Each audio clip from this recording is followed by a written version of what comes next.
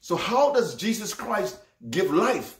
First Corinthians chapter 15, 45 describes him as a life-giving spirit. And you would ask, how exactly does he do it?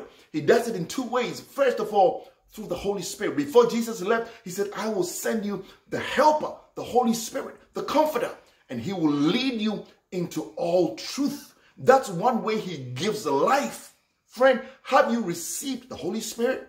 That's how God infuses life into your life and into your circumstance. And then the second way he brings life is by his intercession.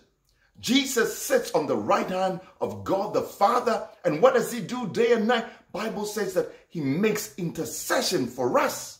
That's how he transmits life into our lives, into our circumstances. Receive the life that God gives through the Holy Spirit. Receive the life that he gives through his intercession. That's the word for the day. Jesus Christ, the life-giving spirit, has not left us on our own. No, he has sent the Holy Spirit to help us and he continues to make intercession for us daily. That's the word for the day. I'm Pastor Frederick Nnoma-Addison from Rhema International Bible Church here in Silver Spring, Maryland. I invite you to join us anytime you're in this area for worship. Otherwise, continue following us on our social media platforms, YouTube, Facebook, TikTok, and Instagram. And please help us share this word so a community is blessed. God bless you, God willing. I'll be back again with another word for the day.